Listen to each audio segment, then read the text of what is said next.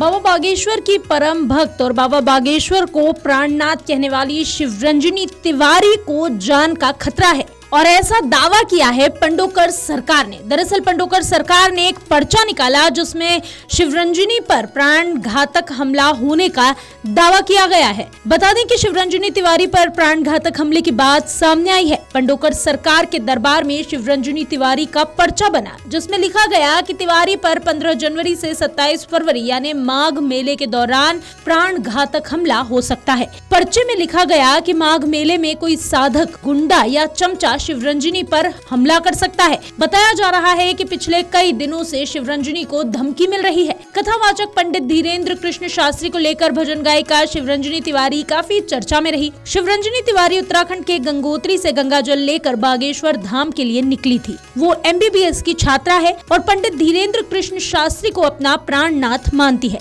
शिवरंजनी तिवारी जब से अपनी जल कलश यात्रा निकाल चुकी है तभी से वो मीडिया की सुर्खियों में आ गई। शिवरंजनी तिवारी एमबीबीएस की छात्रा है। भजन गायिका के तौर पर भी जानी जाती है। शिवरंजनी तिवारी के पिता पंडित बैजनाथ तिवारी ने बताया कि उनके परिवार का संबंध मध्य प्रदेश के सिवनी में जन्मे ब्रह्मलीन ब्रह्मलीन जगत गुरु स्वामी स्वरूपानंद सरस्वती महाराज से जुड़ा हुआ है।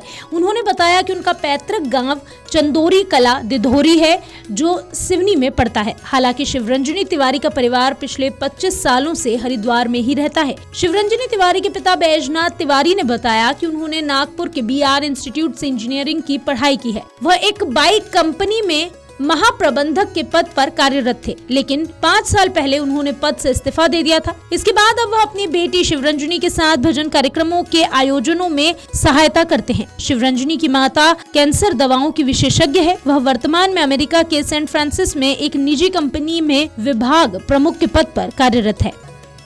आप सभी लोगों को याद होगा, मैंने हाल ही में एक वीडियो रिलीज़ किया था। और जिसमें मैंने लिखा था कि, और एक मैंने सिद्धांत भी दिया था कि स्त्रियों को व्यासमन से कथा करने का कोई अधिकार नहीं है सो व्यासपीठ को स्त्री मुक्त कर दीजिए। और इसके लिए मैंने एक सिद्धांत दिया था श्लोक ये हर कोई जानता है?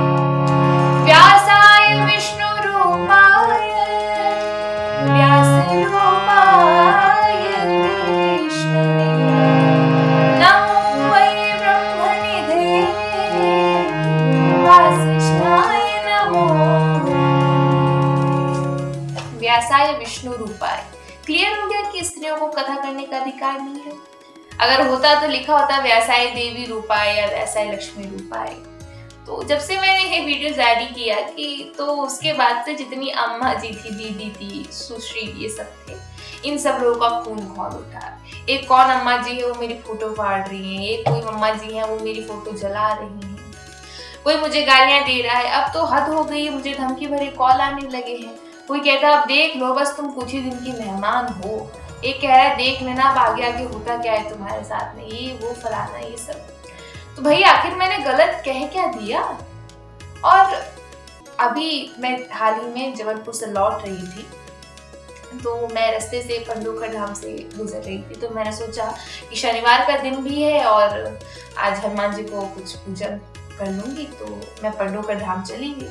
जैसे ही मैं वहाँ गई तो मेरे परम पूज्य गुरुदेव जी पंडोकर धाम सरकार जी ने पहले से ही मेरा पर्चा बना के रखा हुआ था।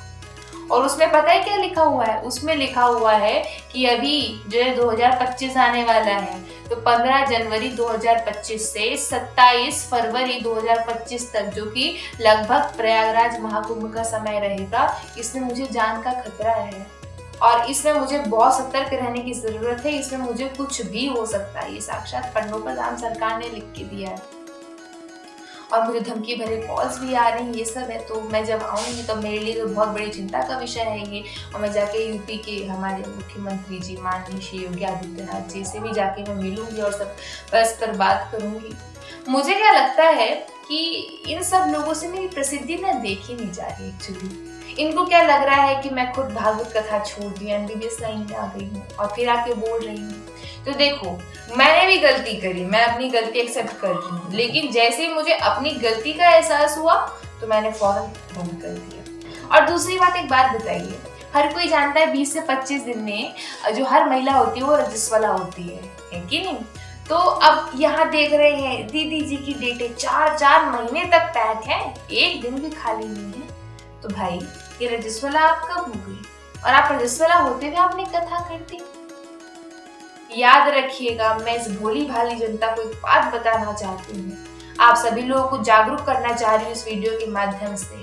जब तक ये रजस्वला बन करके कथा करती रहेंगी व्यास मंच से, जब तक आप लोग इन रजस्वलाओं को कथा करते हुए देखते रहेंगे और आप सभी लोग इसे कथा करवाते रहेंगे, यदि ये महापाप नहीं रुका ना तो याद रखना भक्तों, सनातन धर्म को पतन की ओर जाने से कोई भी नहीं रोक सकता। सनातन धर्म का पतन तो निश्चित ही है और उसमें एक मुख्य कारण ये खुद रजस्वला होकर जो कथा सुना रही है और जो महापाप की आप सभी लोगों को भागीदारी बना रही है, ये खुद उसका एक मुख्य कारण है।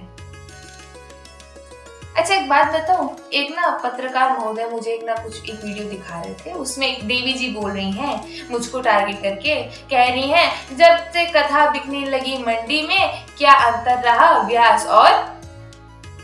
ठीक है तो मैं तो वो शब्द नहीं बोलूँगी ध्यान तो ये सब आप बोल के मुझे कह रही है। अरे, जब भी ना आप देखना, जो सत्र होते हैं, अक्सर दोपहर के होते तीन से छह के तो जो देवी जी होती हैं, वहाँ पे गाना गाती हैं। झूला तो झूले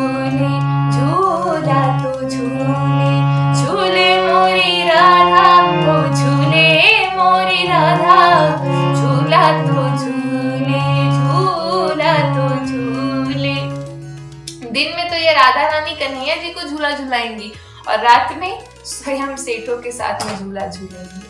तो अरे क्यों ये महापाप कर रहे हो? और बाद में फिर टारगेट कर रहे हैं जब से कथा बिकने लगी, मंडी में क्या अंदर रहा व्यास और इसमें ये। ये सब गलत है और ये मैं इसका बिल्कुल विरोध करती हूँ। जब से मैं इसका विरोध कर रही हूँ, तभी से ये सब लोग ना खूब ऐसी खोल गई है पूरी और खुन्नस में आ गई और धमकी भरे कॉल कर रही है, ये है, वो है। अगर आप ये वीडियो यूट्यूब पर देख रहे हैं तो हमारे चैनल को सब्सक्राइब करें और बेल आइकन को दबाना ना भूलें। अगर आप फेसबुक पर यह वीडियो देख रहे हैं तो हमारे पेज को लाइक करें।